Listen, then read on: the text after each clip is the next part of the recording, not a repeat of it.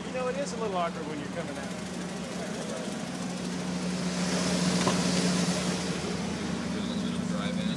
We can just use the commercial footage.